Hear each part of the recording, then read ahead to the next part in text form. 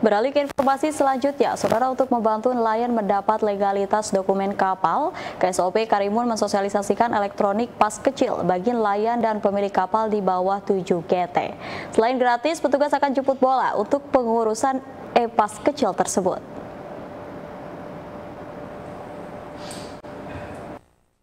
Kantor Kesah Bandaran dan Otoritas Pelabuhan Kelas 1 Tanjung Balai Karimun mensosialisasikan EPAS kecil kepada sejumlah kelompok nelayan.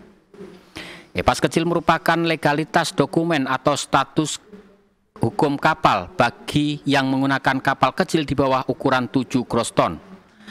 EPAS kecil akan bermanfaat bagi nelayan atau pemilik kapal sebagai persyaratan mendapat pinjaman dana dari bank serta mendapatkan program subsidi dari pemerintah baik pusat maupun daerah. Kepala KSOP kelas 1 Tanjung Balai Karimun John Kennedy mengatakan, EPAS kecil merupakan terobosan Kemenhub terhadap dokumen dan identifikasi kepemilikan kapal nelayan di bawah 7 gross ton.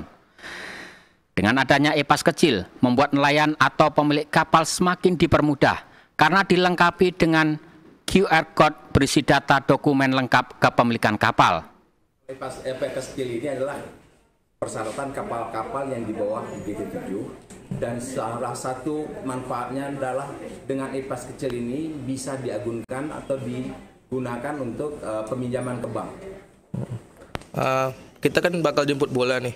Itu kapan Pak mungkin bakal kita lakukan? Kami akan jemput bola secepatnya. Kami akan koordinasikan mungkin mereka teman-teman uh, nelayan atau pemilik kapal GT7 ke bawah dia akan berkoordinasi mungkin melalui WhatsApp atau telepon. Terkait hal tersebut, Ketua Penambang Put Pancung Gabion menyambut baik atas hadirnya EPAS kecil. Menurutnya, EPAS kecil sangat mempermudah nelayan karena tidak lagi perlu membawa kertas saat melaut. Eh, dan pesan kepala dinas ya sangat mendukung si EPAS kecil ini. Kenapa? Karena begitu seperti uh, buat penambang untuk khususnya penumpang uh, untuk dia mendapatkan RPT itu lebih mudah syarat-syarat pun kita tinggal cek aja di e-pas kecil tadi jadi tidak perlu berkas yang cukup rame-rame gitulah dengan e-pas kecil ini cukup dia bawa aja kita scan udah keluar semua datanya itu aja lebih agak mudah lah untuk apa masyarakat kita selain gratis dalam pengurusan KSOP kelas 1 Tanjung Balai Karimun akan melakukan jemput bola untuk peralihan pas kecil lama ke e-pas kecil. Demikian Ferdinand melaporkan dari Karimun.